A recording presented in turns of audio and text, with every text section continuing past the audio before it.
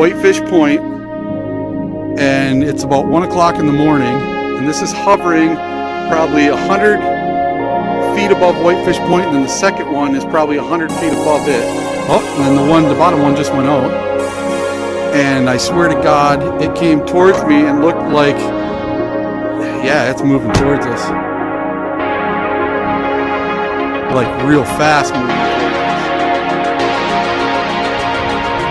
And there's no sound. You can't hear anything. And the light goes out once in a while and comes closer. It's coming real fast. Getting closer to us. And now it's stopped. It's hovering. Halfway between us and the point. This is the craziest thing I've ever seen in my life. No, it's still there. I'm videotaping.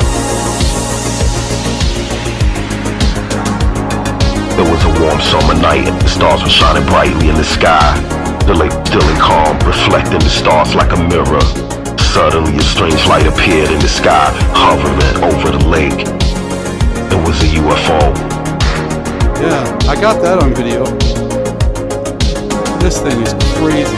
You can see over to the right here, there's a ship. Let's see if we can get the ship. The UFO was huge and had a bright glowing light that illuminated the lake. It moved slowly and silently, as if searching for something. On the shore watched in awe as the UFO moved around the lake, suddenly stopped and hovered in one spot. It began to move again, this time faster and more radically. It seemed to be searching for something. After a few minutes, suddenly shot off in the night sky. That's moving towards it. Whoa. Yeah, but you should see what it's doing on the, the video. It's like it's getting big and then small and disappearing. But watch.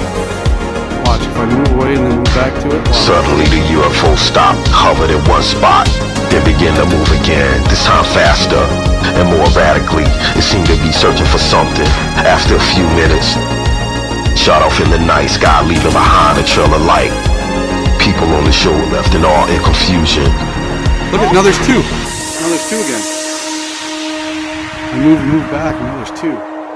This is the craziest thing I've ever seen. Was it hostile? No one knew. But one thing was certain. The lake would never be the same again. I'm not moving the camera at all, but they seem to be moving around the screen. Oh, the one faded out. Look at that. I'm not moving the camera at all. And it's like, look how it's screwing with my camera.